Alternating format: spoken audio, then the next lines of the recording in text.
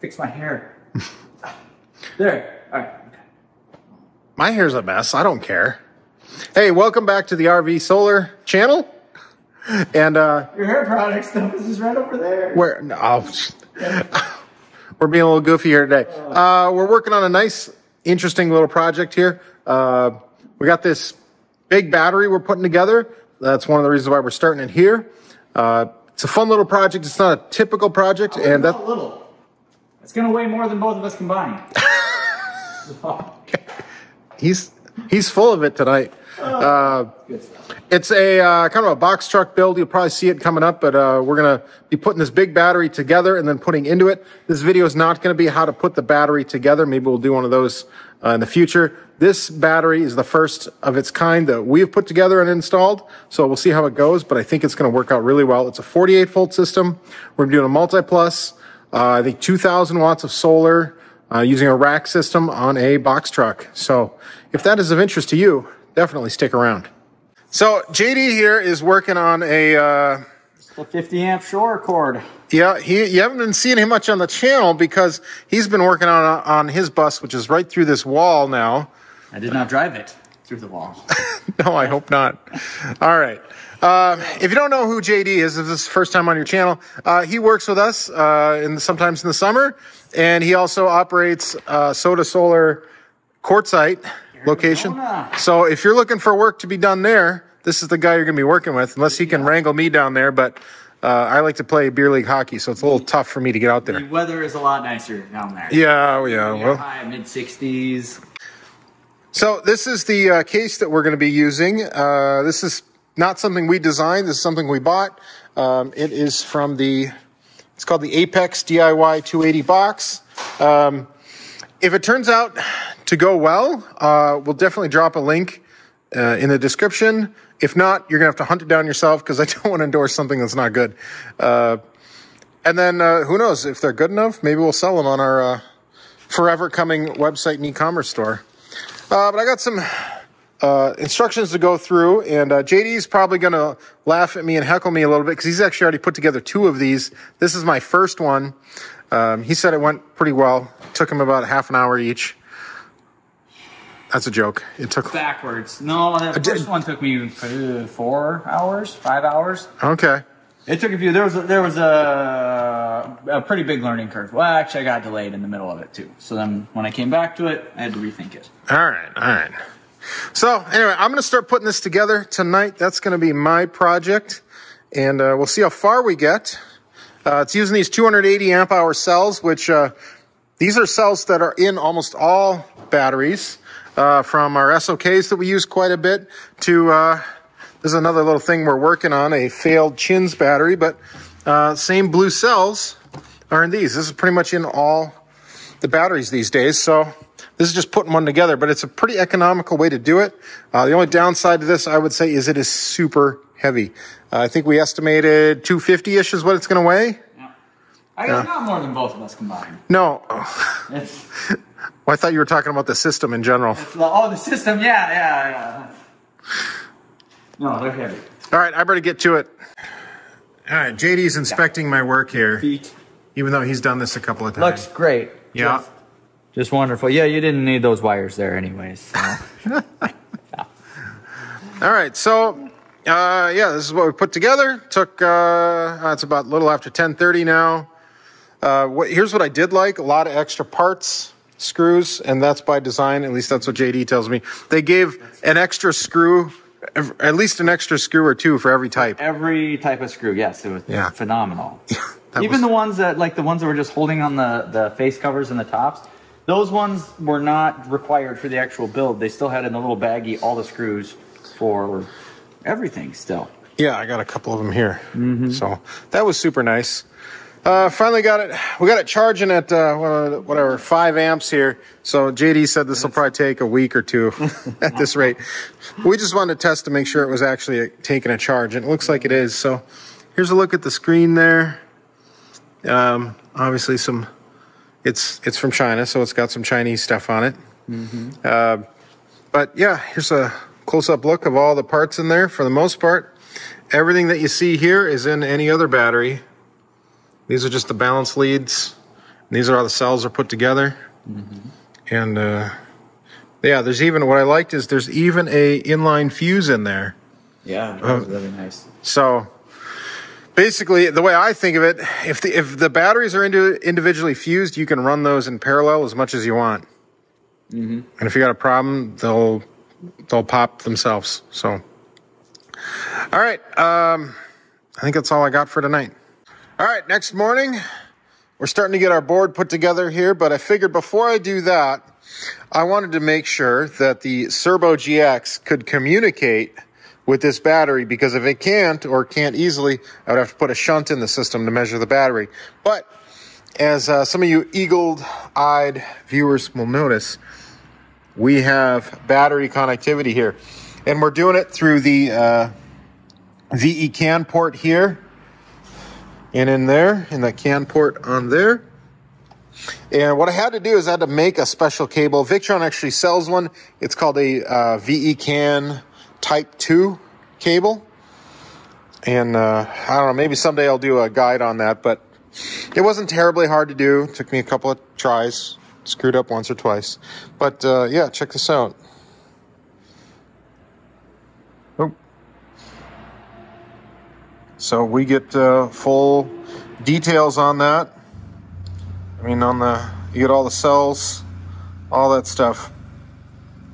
It's tracking the capacity. This is, again, this is 280 amp hours at 24, or at 48 volts rather. That's like well over a thousand at 12 for those of you that are familiar with that. So, uh, with this working now, I feel like I can put this board together now. And my plan is to put this board, it's going to sit like this. And some of the components here and the inverter is going to be right on top. I'll show you where that's going to end up in here. Here is the box truck. So battery is going to sit here and the board will be right there. Should work out very well. Well, it's been a couple of days and uh, we've been hard at work on this thing, as you can see. We've got uh, four of these giant 500 watt panels on this, uh, I don't know what you'd call it, a little box truck. And uh, yeah, we're to cut those off. Haven't done that yet. But uh, we got solar run in. It's all war or it's all uh, wired up and it's working. That's great. I wanted to show you a little bit kind of how things have come together here. We have our board installed. We've got some raceway covers and some other covers to put on, as you can see here. But I figured I'd show you a little bit of work in progress. Got some other covers to go on.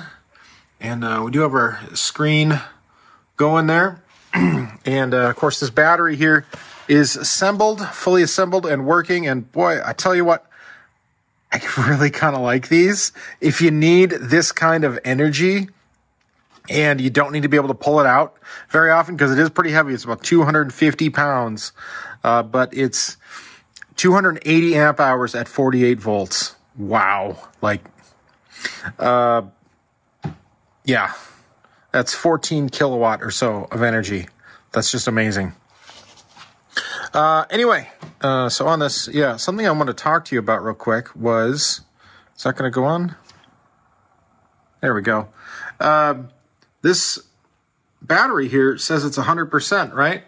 And actually, oh, before I get too into that, this does communicate natively with this. I think we talked about that before, but you get full uh, control on this, and actually, this battery communicates with the Cerbo and uh, the MultiPlus and the solar charger such that um, it is actually sending its battery charge parameters to the system and charging based on what it wants. And it'll even do some really interesting things like as it gets near the chop of charge, it'll actually start throttling the uh, charge amps down so that the battery can balance a little bit better. A lot of cool stuff like that.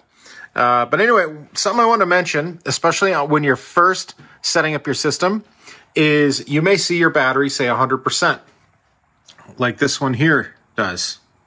It says 100%, but it's still not. And a big way you can tell is just take a look at these cell voltages here. Uh, you want to see 3.5 something, ideally 3.6, 3.55, something like that. That's how you know the battery's full. And what that actually translates into is, let's say it's a 12 volt battery, you're looking for a voltage of over 14. If it's a 24 volt battery, you're looking for something over 28. And if it's a 48 volt battery, we're looking for something closer to 56 volts. And as you can see here, we're at 53 still. We potentially have a long way to go on this battery before it's full. So you've got to calibrate the what does 100% mean before you can really trust this. So always, I call it sanity check. Anytime you see your battery say 100% sanity check the voltage. If it's still charging, ooh, we just got some sun that popped out. Hopefully we see this jump up. Yes, we do. Come on. It should go way higher. Yeah, there we go. That's more like it. I know we got 2,000 watts on there, but uh, uh, the sun angle's pretty low. It's just right there in the sky somewhere. Welcome to mid-October in Minnesota, I guess. So anyway, you want to desan- you want to sanity check that uh, when it's charging. When it's discharging, it may be a little bit different. I hear people all the time. They'll say, "Oh, I've got a you know a solar system, and uh, by nine ten o'clock, my batteries are 100 percent." And they were down to 60% the night before. Well, unless you've got a ridiculously large solar array, it is not 100%. Uh, if you've got a 12 volt system, I see, I hear this a lot, or I see this a lot. You may be at, uh, like a 12 volt battery thinks it's potentially full at anywhere from 13.2 to 13.3 volts. If you're using a very rudimentary uh, battery monitor, if you're using something that's actually tracking the amps in and out, it's it shouldn't say that, but it may, depending on how it's configured and all that kind of stuff. So that's what I'm saying. You got to sanity check it. You got to make sure your amps in has to equal your amps out, or your amps out has to.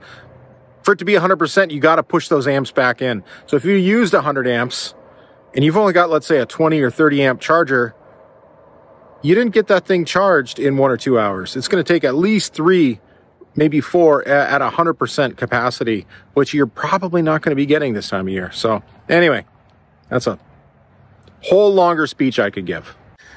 All right, a couple other finer points on this system. Uh, we're running the shore power into into the multi-plus here. Uh, the other thing I'll mention on this 48 volt multi-plus, it's a little smaller than the 24 and 12 volt versions. I like that. Uh, we're running a 10 gauge, uh, 10.3 uh, flexible wire down through here into uh, a hole with a grommet and some uh, foam. Zip tied that underneath to a standard RV port. So my customer could just plug right in if they want to. And as you can see, they have a generator here, and their plan for that is to slide it out, and then they could run the generator cord right, right there if they want. So that's how they're going to handle the generator charging. Uh, oh, look at this! Wow, that's called edge of cloud right there. 1200 watts. I love that. That is so great. I can feel it. The sun. Ooh. See, what edge of cloud is, is all these little clouds are acting like little suns right now. And so you got the main sun, right? But then you got all these little ones that are also adding it to. It's almost like a lens. It's redirecting some of the light uh, to the solar panel. So that's why you get such good solar sometimes on a partly cloudy day.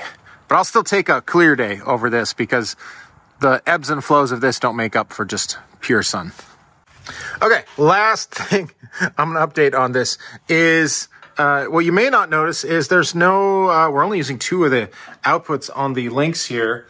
And Partially the reason for that is there's not a DC system on here yet. There may be in the future. We uh, may be adding, if the customer wants, a step down converter or there's some other things like that. But for right now, the customer is thinking about leaning into 120 volt lighting and everything and just running it like a house because why not? And uh, so this may be a continually uh, collaborative project as this customer continues to build out this adventure vehicle that they got going on. So I got a little bit more work to do on this to uh, wrap it up, uh, button everything up, and I'll also bring you up top and uh, we'll talk about how we mounted those panels and uh, all that sort of stuff. Maybe talk about that racking system if you're interested in that. So stick around and uh, while you're waiting, why don't you hit the subscribe button down below? That'll help uh, me and JD. Oh, there's his bus right there. There's a JD bus sighting. it'll just help us out, you know, feed the YouTube algorithm. Feed it. All right, isn't this pic picturesque? We got a nice blue sky, and uh, we're inspecting our solar panel installation on this uh, This is 2,000 watts again on a rail system. And uh, we did get a little rain, so you can see uh, what that does to things.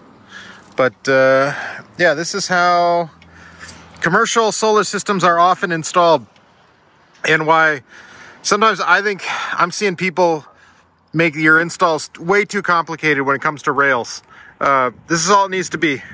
This is a Unirac railing system. So this is all aluminum. Uh, these L feet come with it. And uh, you do a mid clamp here.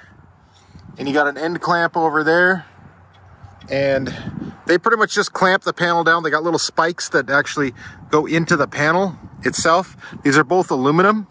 So, which is kind of a soft metal. So it ends up grabbing into it. And of course, you know, you got to torque these down with a couple of Ogadugas. so, uh, anyway, that's, that's how it goes. Uh, this actually didn't take too long to install. The hardest part was actually just getting the wiring because I basically had to uh, start here and move this way. And every time I'd put one down, I'd have to pull the wires out and do my wiring.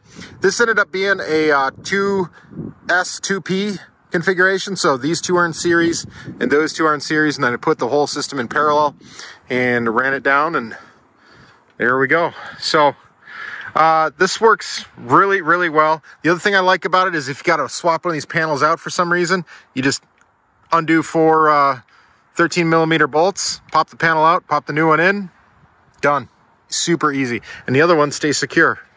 So loved how this turned out. And I know everyone's always curious, well, how does it look from the bottom? Well, this is about how it looks. And uh, maybe it's a little peculiar, but then again, box trucks don't necessarily look all that normal either, do now, do they? Uh, I wouldn't personally be all that worried from, a lot of people say, well, they're worried about wind getting up, up underneath them. Uh, they're not going to carry the roof away. Uh, for the most part, the air is going this way. And now it is coming straight up over here, but most of that air ends up going up and over.